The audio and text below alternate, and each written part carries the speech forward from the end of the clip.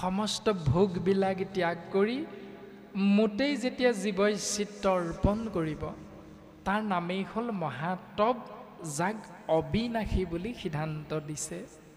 আৰু সমস্ত জগতক যি জীৱাত্মাই হৰিময় বিষ্ণু জ্ঞান কৰিব পাৰিব এই ব্যৱস্থাটোৰ নামেই হ'ল উদ্ধৱ সত্য তুমি জানিবলৈ চেষ্টা কৰা। তাৰে নাম সত্য সখী জানিবা নিশ্চয়। এই ৰামে মোক জানি যিটো জনে তেজে কৰ্ম মল। তাকে সেইবোলয় শৌচ জানাম বল। এই ৰামে ঈশ্বৰ জ্ঞানক যিটো উপদেশ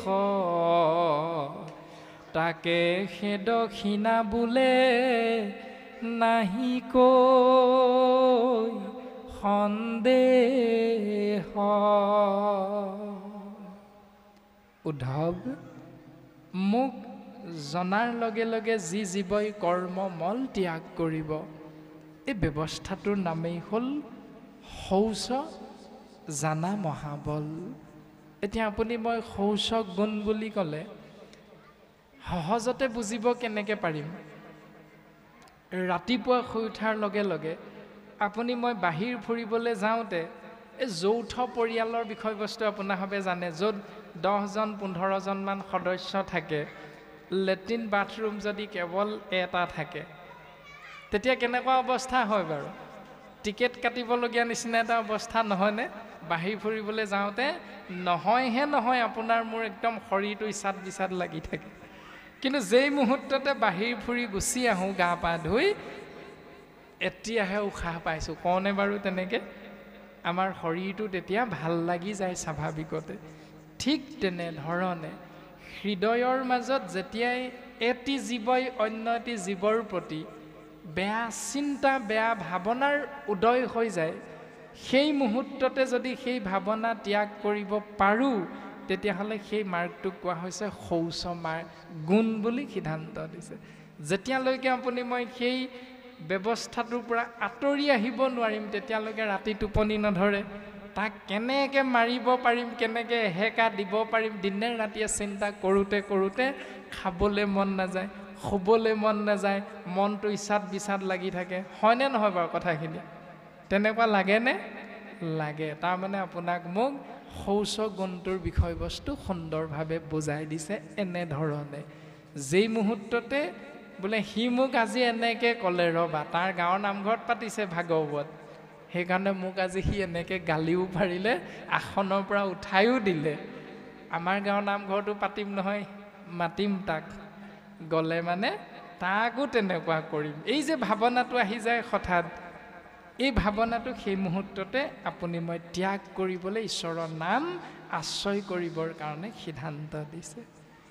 এই ৰাম মোক জানি যিটো জনে তেজে কৰ্মমল তাকে সেই বুলিও শৌচ জানা মহাবল এয়াই হ'ল শৌচ ঈশ্বৰ জ্ঞানক যিটো দেই উপদেশ যিজনে এটি জীৱাত্মাক পৰমাত্মাৰূপী ঈশ্বৰক দৰ্শন কৰাবলৈ উপদেশ বা পথ প্ৰদৰ্শক বা মাৰ্গদৰ্শক হিচাপে আপোনাৰ মোৰ আগত থিয় হ'ব। সেই ব্যৱস্থাটো যিজনে আশ্ৰয় কৰিব তাকে সেই দক্ষিণা বোলে নাহিকৈ সন্দেহ। এই ব্যৱস্থাটোকে কোৱা হৈছে দক্ষিণা উদ্ধৱ তুমি জানিবা। ৰাম মত চিত্ত দিয়া যিটো কৰে কৰ্ম ধৰ্ম। তাৰে নাম যজ্ঞ সখী কৈলুই তো মৰ্ম। এই ৰামে তাকে বুলি ভাগ্য যিটো জানিলে আমাক। শুনা প্ৰাণ সখীয়াবে লাভ বুলি যাক। উদ্ধৱ মোতেই চিত্ত অৰ্পণ কৰি যি জীৱই কৰ্ম মাৰ্গক ধৰ্ম বুলি আচৰণ কৰিব তাৰে নাম যজ্ঞ সখী কৈলোঁ ইটো মৰ্ম। এতিয়া আমাৰ সচৰাচৰ পৃথিৱীখনত যজ্ঞ বুলি ক'লে আমি কি বুজি পাওঁ? কোনোবা এজন দেৱ দেৱতাক সন্তুষ্ট কৰিবলৈ একুৰা জুই কুণ্ড এভাগ সাজি জুই জ্বলাই তাত ঘিউ ঢালি ঢালি মন্ত্ৰ উচ্চাৰণ কৰি কৰা ব্যৱস্থাটোকেই আপুনি মই যজ্ঞ বুলি ক'লে সহজতে বুজি পাওঁ। কিন্তু শাস্ত্ৰই আমাক কি বুলি ক'লে? মত চিত্ত দিয়া যিটো কৰে কৰ্ম ধৰ্ম তাৰে নাম যজ্ঞ সখী কৈলোঁ ইটো মৰ্ম। মোতেই চিত্ত অৰ্পণ কৰি যি জীৱ এই শাস্ত্ৰসন্মতে যি ভাগি কৰ্ম কৰিলে ধৰ্ম হ'ব বুলি নিৰ্দেশ কৰিছে। সেই মাৰ্গ আচৰণ কৰি যি পন্থা অৱলম্বন কৰে সেই ব্যৱস্থাটোৰ নাম হ'ল যজ্ঞ উদ্ধৱ তুমি জানিবা। তাকে বুলি ভাগ্য যিটো জানিলে আমাক শুনা প্ৰাণ সখী আবে লাভ বুলি জাগ। লাভনো কাক বুলি কয় তুমি জানিবলৈ বিচাৰিছা? গতিকে লাভৰ বিষয়ে তোমাক ক'ম কিন্তু তাৰ আগতে ভাগ্যনো কাক কয় জানা? তাকে বুলি ভাগ্য যিটো জানিলে আমাক। এতিয়া আপোনাৰ মোৰ আজি পৰম সৌভাগ্য অকল ভাগ্যই নহয় তাৰ আগত সু উপসৰ্গ আপুনি মই যোগ দিব পাৰোঁ। ভাগ্য নহয় সৌভাগ্য বুলি কৈছে। এতিয়া আমাক বিশ্বাস কৰিবলৈ কৈছে দৃঢ় বিশ্বাস কৰিবলৈও কৈছে কিন্তু দুই ভাগী শব্দ ব্ৰহ্মক বা পন্থাক চেৰাই গৈ সেই জীৱ সু দৃঢ় বিশ্বাসৰ আশ্ৰয় গ্ৰহণ কৰা। ঠিক তেনেধৰণে আপুনি মই চিন্তা কৰিলে অকল আপোনাৰ মোৰ আজি ভাগ্যই হোৱা নাই পৰম ভাগ্য হৈছে পৰম সৌভাগ্য হৈছে। কিয়নো অমৃতময় কৃষ্ণ নাম মহাভাগৱত কথা আজি আমি এই গুৰু গৃহভাগীত সমস্ত জনা বাপ আই লগ লাগি আমি একত্ৰাপিত হৈ শ্ৰৱণ কীৰ্তন মহাভক্তি লাভ কৰিবলৈ সুবিধা পাইছোঁ। সেইকাৰণেহে আপোনাৰ মোৰ সৌভাগ্য হৈছে। আৰু এই সৌভাগ্যৰ কীৰ্তিত্ব আপুনি মই কাক দিব লাগিব? সৰ্বপ্ৰথম যে আচাৰ্য সন্মান আপোনাসবে প্ৰদৰ্শন কৰিছিল ইলাৰাম দাস বাপজনাৰ। সেয়া হ'ল সৌভাগ্যৰ গৰাকী। মানে আপোনাক মোক মাৰ্গদৰ্শন কৰাই দিলে তেৰাই। আৰু তেৰাক মাৰ্গদৰ্শন কৰাই দিলে কোনে? অৰ্থাৎ জগত গুৰু শ্ৰীমন্ত শংকৰদেৱ গুৰুজনাৰ কৃপাধন্য হৈ আমি সমস্ত জীৱই লাভ কৰিলোঁ অমৃতময় কৃষ্ণ নাম মহাভাগৱত কথা। ইৰাম ভৈগ্য ক্ষয় হুবে কৰ্ম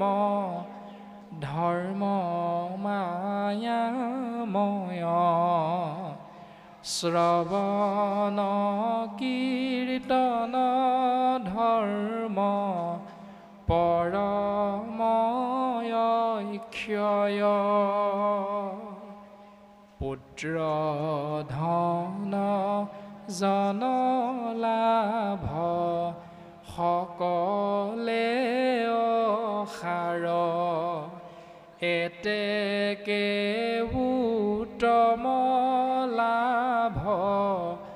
ভকতীয়া মাৰ।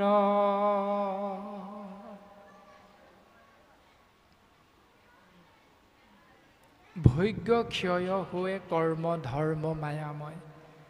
মায়াময় কৰ্মৰ দ্বাৰা আপুনি মই ধৰ্ম হৈছে বুলি যদি ভাবি ভাবি সেই কৰ্মবিলাকক আশ্ৰয় কৰোঁ তেতিয়াহ'লে ভৈগ্য ক্ষয় হৈ হৈ গৈ থাকিব। কিন্তু পৰম অক্ষয় ধৰ্ম বুলি সিদ্ধান্ত দিলে কেৱল ঈশ্বৰৰ নাম শ্ৰৱণ কীৰ্তন। উদ্ধৱ তুমি জানিবা পুত্ৰ ধন জন লাভ সকলে অসাৰ।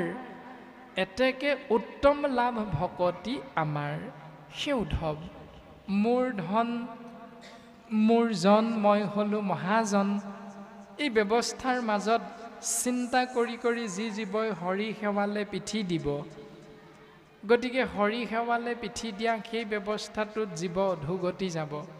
কিন্তু যি জীৱই কেৱল মোৰ ধন মোৰ জন মই হ'লোঁ মহাজন এই বুলি নাভাবি সমস্ত কৃতিত্বৰ গৰাকী ঈশ্বৰ পৰম পুৰুষ প্ৰভু ভগৱন্তৰ চৰণ কমলত অৰ্পণ কৰি দিয়ে। তেতিয়াহ'লে সেই ব্যৱস্থাটোৱে হ'ল এটি জীৱৰ উত্তম লাভ। এতিয়া আপুনি মই দিনে ৰাতিয়ে ধন টকা পইচা ঘটি থকা নাইনে? ঘটি আছোঁ প্ৰত্যেকেই কিন্তু খৰচ ক'ত কৰিছোঁ?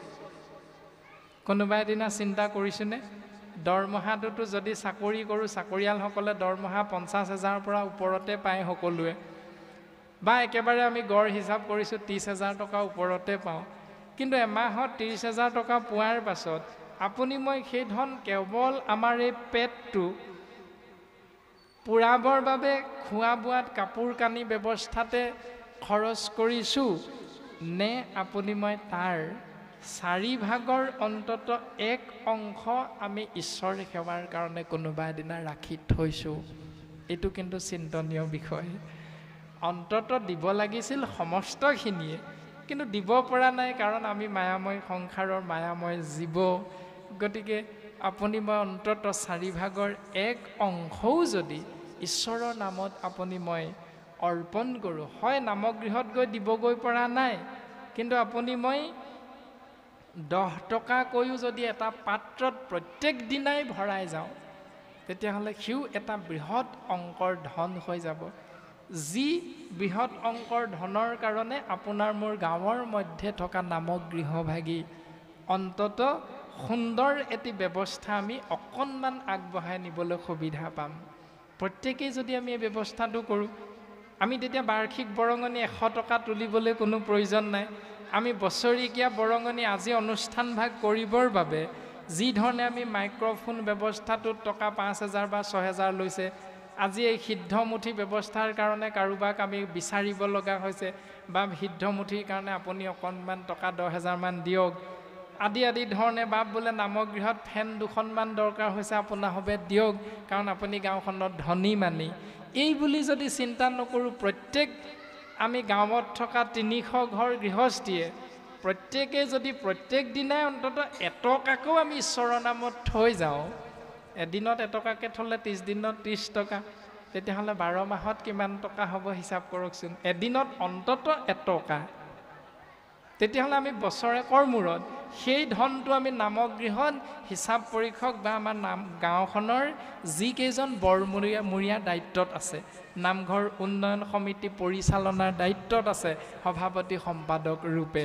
বছৰেকত এটা তাৰিখ যদি নিৰ্ধাৰণ কৰোঁ যে এই তাৰিখটোতে আমাৰ গাঁৱৰ ৰাইজে বহিম বহি লৈ বছৰেকৰ প্ৰত্যেক দিনাই আমি যি যেনেকৈ থয় বোলে বাপ মই এটকাকৈ থৈছিলোঁ। তেওঁ থিয় হৈ কৈ দিব এটকাকৈ থৈছিলোঁ। সেই এটকাৰ হিচাপত যিমান হ'ব লাগে সেই পইচাটো তাত নিশ্চয় ওলাব। কোনোবাই বোলে নহয় বাপ মই দৰমহাটো সৰহকৈ পাওঁ মই এশ টকাকৈ থৈ গৈছিলোঁ। গতিকে সেই এটা বৃহৎ অংকৰ ধন হ'ব যিটো আপুনি মই চৰকাৰলৈ ৰৈ থাকিব নোৱাৰ নেলাগে আমাৰ নামঘৰটো বনাই দিয়ক। আমাৰ ৰাস্তা পদূলিৰ ব্যৱস্থাটো চৰকাৰে কৰি দিয়ক মাটি দুগাড়ী শিল পেলাই দিয়ক। আপোনাৰ মোৰ পদূলি মুখত থকা লেতেৰা জাবৰ জোঁথৰখিনি আহি চৰকাৰৰ সেই মিউনিচিপালিটি বৰ্ডৰ সেই ব্যৱস্থাৰ দ্বাৰা আপোনাৰ মোৰ গাঁওখন চফা কৰি থৈ যাওক পৰিষ্কাৰ কৰি থৈ যাওক এইবিলাকলৈ ৰৈ থাকিবলৈ আপোনাৰ মোৰ কোনো প্ৰয়োজন নাই। সমস্ত ঈশ্বৰত আমি যদি অৰ্পণ কৰিব পাৰোঁ অন্তত এটকাৰ পৰাই যদি আৰম্ভ কৰোঁ এইটো ব্যৱস্থা নিশ্চয় আমাৰ ভুল নহ'ব। ঈশ্বৰে অকণ অকণকৈ হ'লেও আপোনাক মোক কৃপা কিন্তু নকৰাকৈ নাথাকে। এৰা সমস্ত ভূততে আছোঁ মই মহেশ্বৰ জানিয়া সবাকো কৃপা কৰে যিটো নৰ। এৰা ৰামে তাকে সেই বুলিয় সখী পৰম ভূষণ। মোৰ গুণ নামে সে জানিবা ধন। সেই উদ্ধৱ সমস্ত ভূততেই মই আত্মাৰাম হিচাপে প্ৰকাশমান হৈ আছোঁ। গতিকে জানিয়া সবাকো কৃপা কৰে যিটো নৰ। যি মনুষ্য নামৰ জীৱই এই পৰম জ্ঞানৰ গৰাকী হৈ সমস্ত ভূতকে সমস্ত জীৱকে কৃপা কৰিবলৈ চেষ্টা কৰিব লাগে। আৰু তাকেহে বুলিও সখী পৰম ভূষণ ভূষণ মানে সাজ সজ্জা বুলি কোৱা হৈছে। মহন্তৰ ক্ষমাহে ভূষণ এতিয়া আপুনি মই মহন্তৰ শাৰীত তেতিয়াহে পৰিম যেতিয়া আপুনি মই ক্ষমা গুণ ৰাখিব পাৰিম। ঠিক তেনেধৰণে তাকেহে বুলিও সখী পৰম ভূষণ অকল এজন মনুষ্যই অন্য এজন মনুষ্যৰ প্ৰতি ক্ষমা কৰিলে নহ'ব। আপুনি মই আপোনাৰ মোৰ গৃহত পোহনীয়া হিচাপে ৰখা প্ৰতিপাল কৰি থকা গৰুজনী ছাগলীজনীক মৰম কৰোঁ। কিন্তু কেনেবাকৈ লোকৰ ঘৰৰ গৰুজনী বা ছাগলীজনী আহি যদি কঠীয়া খাই দিয়ে কি কৰোঁ বাৰু? তাৰ বিপৰীত ব্যৱস্থাটো নকৰোঁনে কিন্তু ঘৰৰ গৰুজনীয়ে বা ছাগলীজনীয়ে যদি কঠীয়া এগোচা খাই কি হ'ব? নেমাৰো মৰম কৰি পানি লাহেকৈ গোহালিত আহি বান্ধি থৈ দিম। এই যে আপুনি মই প্ৰাণী হিংসা কৰাৰ ব্যৱস্থাটো অকণমান চিন্তা কৰিব লাগিব যিটো শাস্ত্ৰসন্মত হ'ব লাগিব বুলি শাস্ত্ৰই আমাক সিদ্ধান্ত দিছে। মূৰ গুণ নামেই হ'ল এটি জীৱৰ কাৰণে মহাধন। সেইকাৰণে কোৱা হৈছিল মোক কিনা কিনা প্ৰভু মোক কিনা কিনা আন ধন নলাগয় নাম ধন বিনা। আপোনাৰ মোৰ জেপটোত আপোনাৰ মোৰ গডৰেজত আপোনাৰ মোৰ বেংকৰ একাউণ্টত কিমান লাখ টকা সোমাই আছে সেইজনক ধনৱন্ত বুলি নাই কোৱা। কাৰণ সকলোৱে জানো আপুনি মই। বিশ্ববিখ্যাত বিশ্ববিজয়ী আলেকজেণ্ডাৰৰ বিষয়ে। তেৰাই তেওঁৰ পাৰিষদবৰ্গ ইষ্ট মিত্ৰ কুটুম্বক কৈ থৈ গৈছিল মই যেতিয়া মৰিম এই সংসাৰ যেতিয়া ত্যাগ কৰিম তেতিয়া মোক তোমৰাভাৱে কবৰ দিবলৈ নিওঁতে কফিনত ভৰাই নিওঁতে এনেকৈ লৈ যাবা যাতে কফিনটোৰ পৰা মোৰ হাত দুখন বাহিৰলৈ ওলাই থাকে। এক নম্বৰ।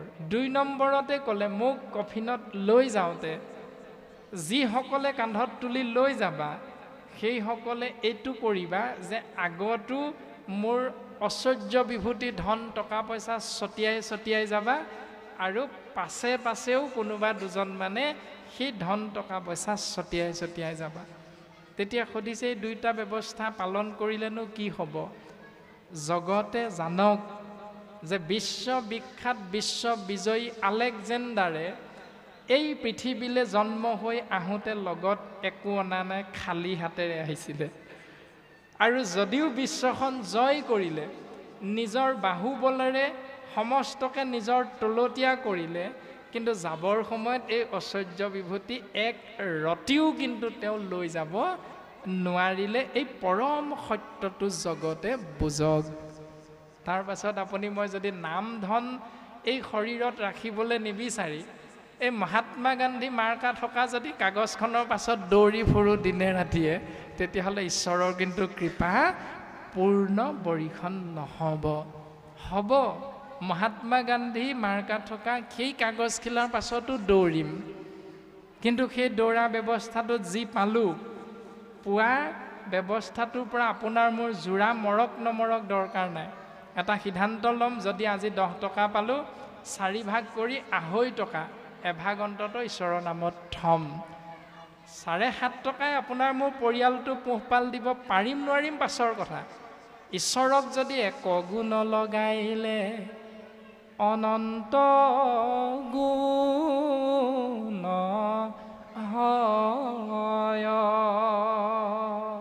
ঈশ্বৰৰ নামত যদি আপুনি মই এগুণ অৰ্পণ কৰোঁ ঈশ্বৰে কিন্তু আপোনাক মোক অনন্ত গুণৰ গৰাকী কৰি দিব। সেইটোৱে ঈশ্বৰৰ কৃপা।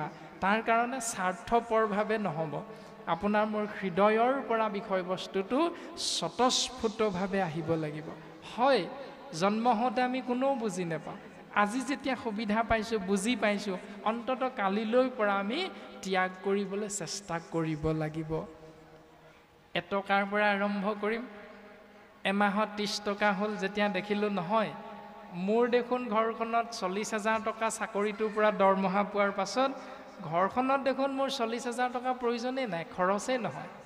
পৰিয়ালটো পোহপাল দিবলৈ মোৰ মাথোন লাগে পোন্ধৰ হেজাৰ টকাহে। বাকী পঁচিছ হেজাৰ টকা ক'ত খৰচ কৰিব? বেংকতেইতো থ'ব লাগিব। বেংকত কিয় থ'ম?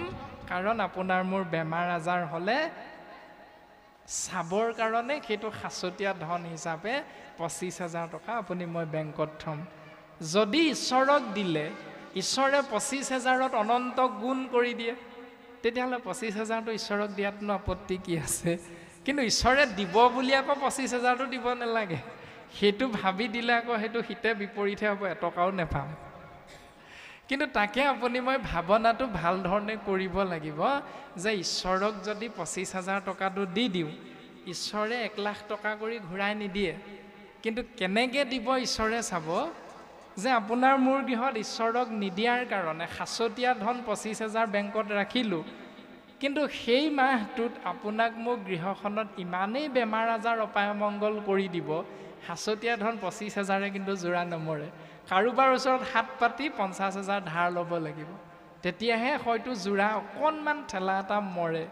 ঈশ্বৰক যদি পঁচিছ হাজাৰটো দি দিয়া যায় বেমাৰ আজাৰ এবছৰলৈ হয়তো নহ'বও পাৰে আপোনাৰ মোৰ। তাৰমানে ঈশ্বৰে তেনেধৰণে কৃপা কৰি থাকে। যাৰ কাৰণে আপোনাৰ মোৰ পঁচিছ হাজাৰ ঈশ্বৰক দিলোঁ বাকী কিন্তু এঘাৰ মাহৰ দৰমহা পঁচিছ হাজাৰ পঁচিছ হাজাৰ আপোনাৰ মোৰ এনেই কিন্তু বেংকত জমা হৈ গ'ল। বেমাৰ আজাৰ নাই ইষ্ট মিত্ৰ কুটুম্বক দিব নালাগে কোনো বিচাৰি নাহে কাৰণ সকলোকে কৃপা কৰিছে।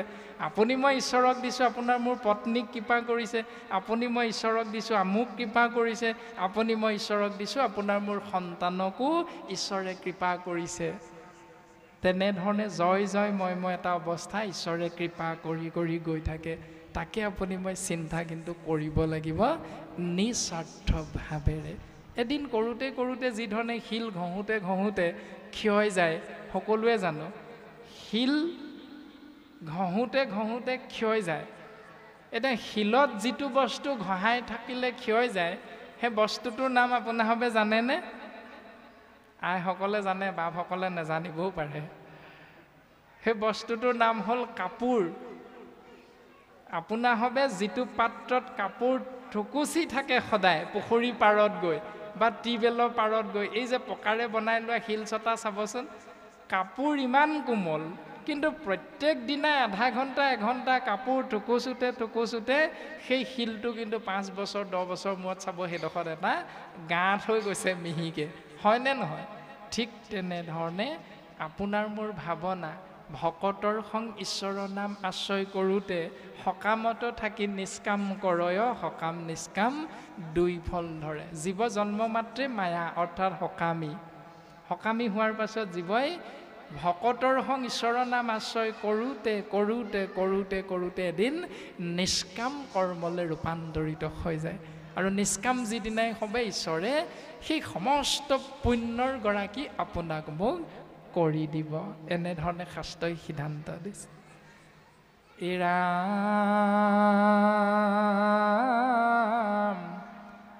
তাকে বুলি জ্ঞান যিটো দেখে হৰিময়।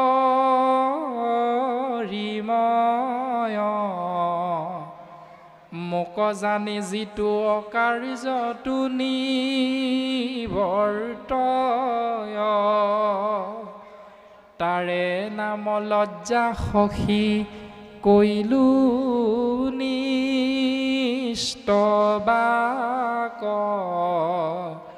শুনাবে উদ্ধৱ পণ্ডিত বুলি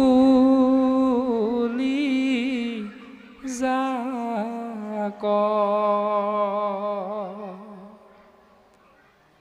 সেই ব্যৱস্থাটোকে জ্ঞান বুলি কৈছে। যিজনে সমস্ত ভূতত হৰিময় দেখিব পাৰে। যিজনে মোক জনাৰ পাছত নকৰিবলগীয়া কাম কৰিবলৈ আগবাঢ়ি যাব নিবিচাৰে অকাৰ্যটো নিৱৰ্তয় তাৰে নাম লজ্জা সখী কৈলনিষ্ঠ ভাগ বাক সেই ব্যৱস্থাটোৰ নামেই হ'ল লাজ সখী। এতিয়া আমি লাজ কাক কয় বুজিব পাৰিলোঁ। যে ঈশ্বৰক জনাৰ পাছত অকাৰ্যটো নিৱৰ্তয় এতিয়া আমি একশৰণ মহাপুৰুষীয়া সত্ৰ সমাজ আমি শ্ৰীমন্ত শংকৰদেৱ সংঘ সমাজ আমি ভাগৱতী সমাজ আদি আদি ধৰণে বিভিন্ন পঢ়াশালীত আপুনি মই নামভাগি লগাই লৈ সমাজ আমি বৰ্তি আছোঁ। এতিয়া বৰ্তি থকাৰ পাছত ধৰি লওক আমাৰ সমাজ ব্যৱস্থাত শাস্ত্ৰই আজি কোৱা কথাকেইটাৰ কোনোবা দুটা নিয়ম যেনিবা আমাৰ ভুল হৈ আছে। কথাটো আমি ধৰি লৈছোঁ যে আজি বিষয়বস্তুত ওলোৱাৰ ভিতৰত আমাৰ সমাজ ব্যৱস্থাত পালন কৰি থকা নীতি নিয়ম কৰ্মা কৰ্মপন্থাত দুটা নিয়ম ভুল আমি দেখা পালোঁ। এই ভুল নিয়ম দুটা কালিলৈ পৰা আমি ভুল নিয়ম দুটাকে কৰি থাকিম নে ভুল নিয়ম দুটা কালিলৈ পৰা এৰি আমি শুদ্ধ কৰি ল'ম? যদিহে শুদ্ধ কৰি নলওঁ তেতিয়াহ'লে তাৰ নাম হ'ল লাজ লাজৰো কেকু কি লাজৰো লাজ নাই কেঁকুৰাও মোৰ নাই বুলি কৈছে নহয় তাৰমানে আমি শুদ্ধ ৰূপত শাস্ত্ৰসন্মতে এশৰণীয়া হ'ব পৰা নাই। যদিহে কালিলৈ আপুনি মই তৎক্ষণাত বোলে সেৰা কালি ভাগৱত পাঠ কৰোঁতে যিটো মাৰ্গ আমি বুজি পালোঁ যে এই নিয়ম দুটা আমাৰ সমাজত ভুল হৈ আছে বুলি যেতিয়া আমি বুজি পালোঁ এইটো আজিৰ পৰা আমি ত্যাগ কৰিম দিয়া।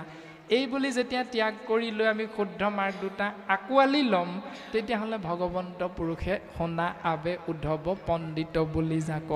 পণ্ডিত কাক ক'ব আমাক প্ৰকাশ কৰিব আৰু ব্যৱস্থাটোৰ নাম হ'ল লজ্জা সখী কৈলনিষ্ঠ বাক।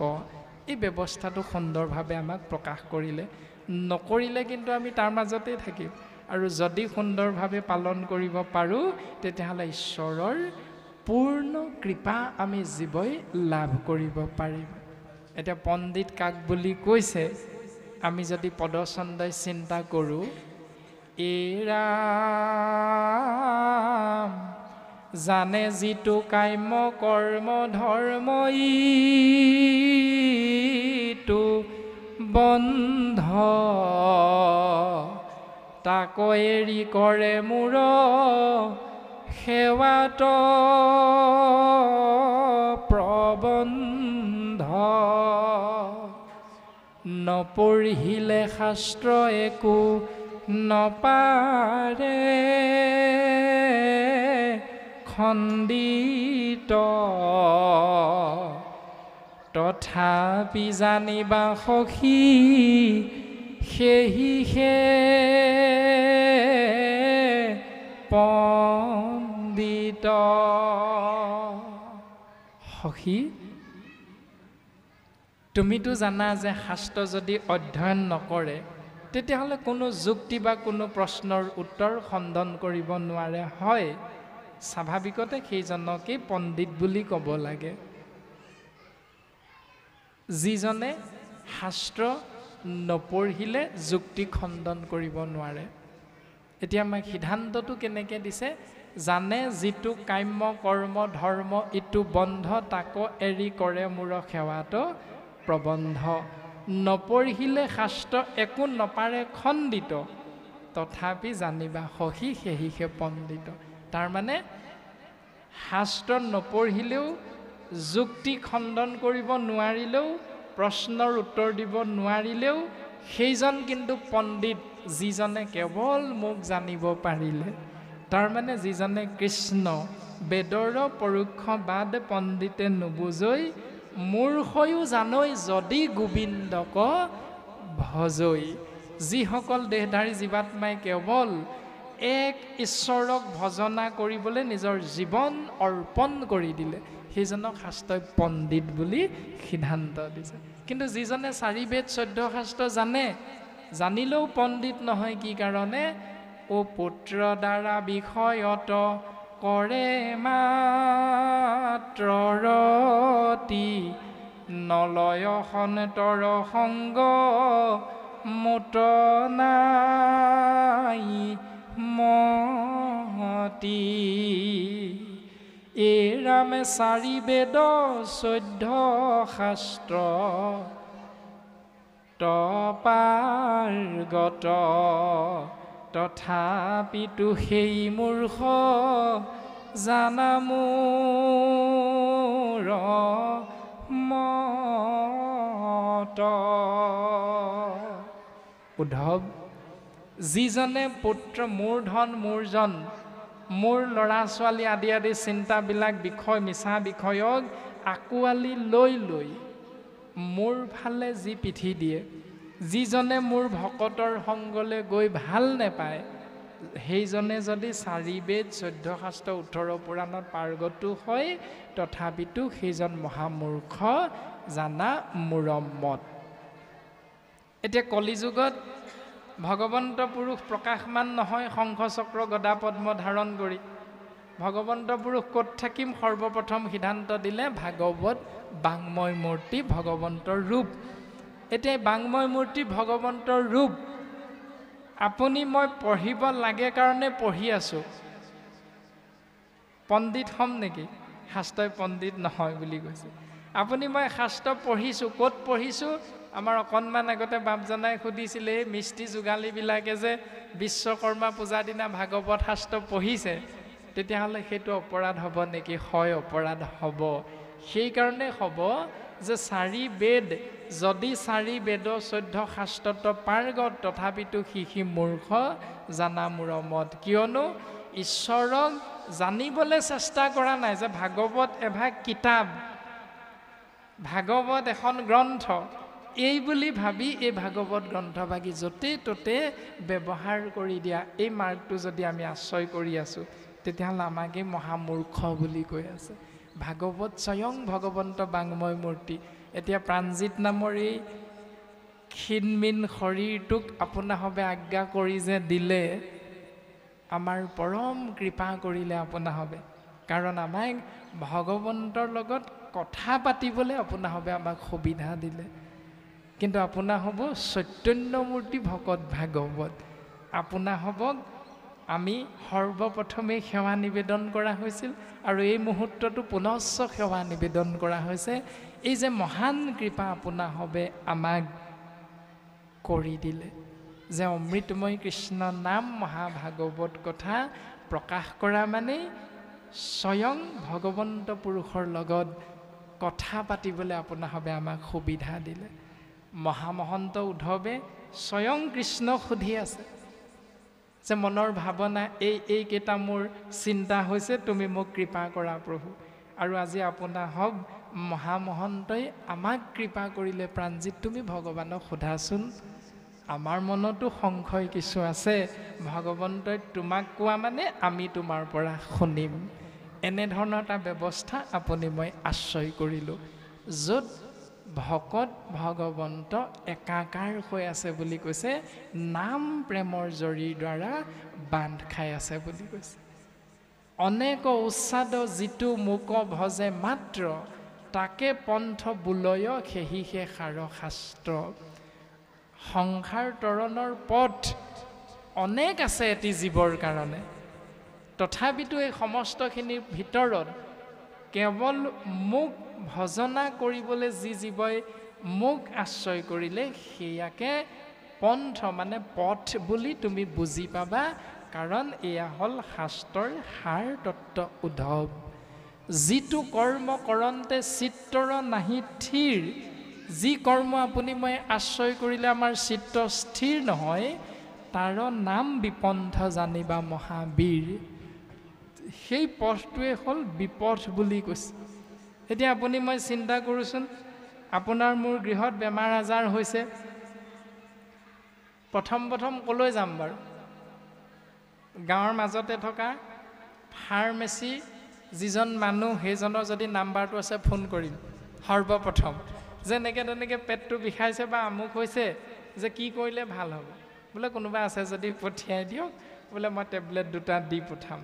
যদি তাতোতকৈ অকণমান ডাঙৰ বেমাৰ হৈ যায় তেতিয়াহ'লে আপুনি মই ওচৰতে থকা আমাৰ জিলাতে থকা মেডিকেলখনলৈ নিবলৈ চেষ্টা কৰিম চিকিৎসালয়লৈ। তাত যদি ভাল নহয় তাতোতকৈ ডাঙৰ বেমাৰ হয় তেতিয়াহ'লে আমি তাতোতকৈ উন্নত চিকিৎসাৰ কথা চিন্তা কৰিম।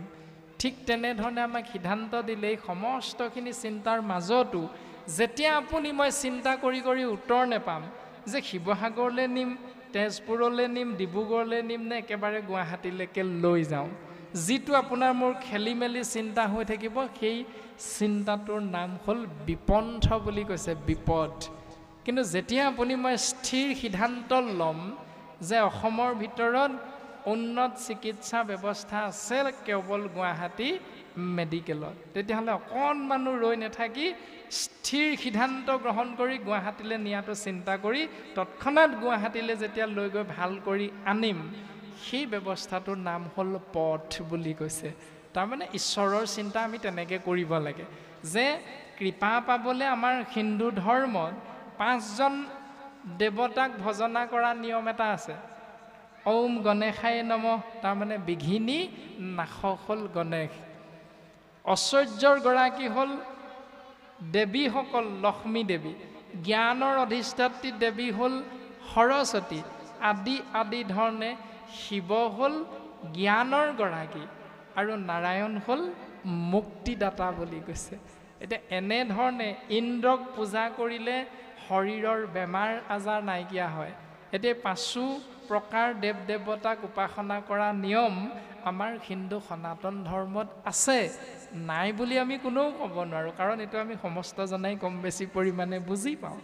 কিন্তু কৃপালু শ্ৰীমন্ত শংকৰদেৱ গুৰুজনাৰ পৰা আপুনি মই সুন্দৰভাৱে বুজিব পাৰিলোঁ যে সেই বিঘিনী নাশক হিচাপে গণেশক পূজা কৰিলে আপোনাৰ মোৰ বিঘিনী নাশ হ'ব কিন্তু ধনৱন্ত নহ'ব পাৰোঁ আপুনি মই হ'ব নোৱাৰিবও পাৰোঁ।